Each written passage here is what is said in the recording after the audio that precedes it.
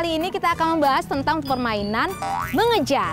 Di permainan ini bisa kakak pakai untuk mengajarkan kepada anak-anak apa itu mengikuti roh kudus. Sebenarnya permainan ini sangat cocok untuk dimainkan di luar ruangan atau tempat yang luas kak.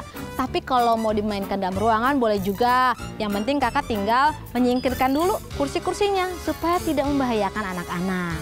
Nah sebelum dimulai kak, kakak perlu menyiapkan dua bola bekel yang warnanya berbeda.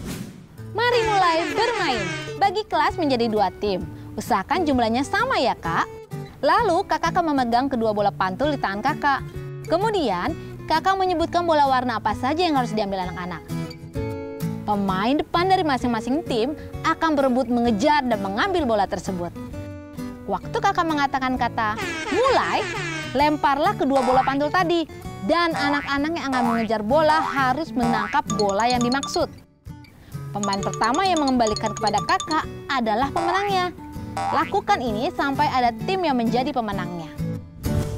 Dari permainan ini kak, anak-anak kan belajar bahwa mengikuti roh kudus bisa membawa kita ke arah yang berbeda, namun tidak pernah acak. Selalu ada tujuan dan alasan yang khusus ke mana pun Tuhan menuntun kita. Mungkin jalannya itu tidak selalu lurus, tapi pasti di treknya Tuhan. Demikian tadi permainan kita kali ini. Selamat mencoba ya kak. Oh ya, jangan lupa tombol like dan subscribe-nya diklik. Nah, supaya kakak bisa terus update dengan Superbook Indonesia.